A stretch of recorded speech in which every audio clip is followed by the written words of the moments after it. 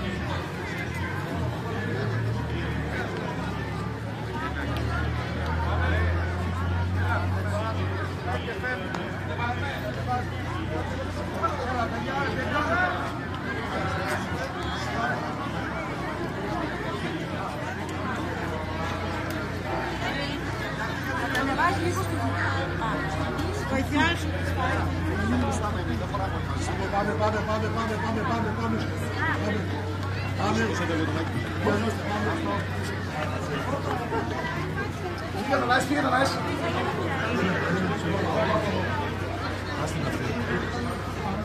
Περίμενα, μετά την Πανελίνη. Κατέβασε Μάκη. Τέρμα. Κι άλλο κάτω. Ανάσα αριστερά. Πάμε από εδώ. Για κάτω μου λίγο χώρο από εδώ. Λίγο χώρο. Πάμε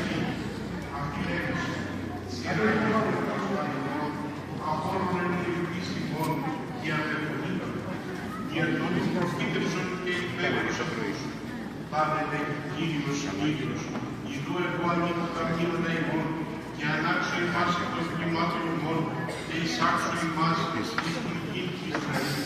Και γνώσεστε ότι εγώ είμαι ο Κύριος εν το ανοίξετε τους τάφους ημών, το αναγαγίνουμε εκ των τάφων των λαών μου και δώσω το πνεύμα μου εις ημάς και ζήσεστε και δίσομαι ημάς εκ των γη ημών. Και γνώσεστε ότι εγώ Κύριος, περάγησα και πίσω, λέγει Κύριος Κύριος. Ανάστητη Κύριος Θεόν μου, υψωθεί το εγχείρι σου, μη επιλάθη των πενήθων σου υστερών. Πρόσχομαι, Εξομολογήσομαι σε Κύριε εν όλη καρδία μου, διοικήσομαι πάντα